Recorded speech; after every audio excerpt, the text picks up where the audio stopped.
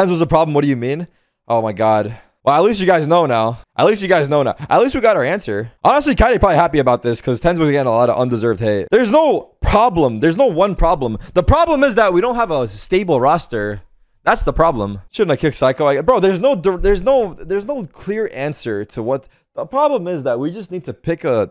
We just need to like the fact that we've made so many changes going into the season sucks because there's no consistency and that's just going to lead to inconsistent results. Like we should have had our set team coach management everything and then obviously things weren't working out. So they had to make changes but it just sucks that it worked out that way. Similar situation to the skies right? Just roster instability i don't know. It, you, you can't you can't rely on winning when there's so many changes happening around you. So uh, there's no clean cut answer but i would say it's based around that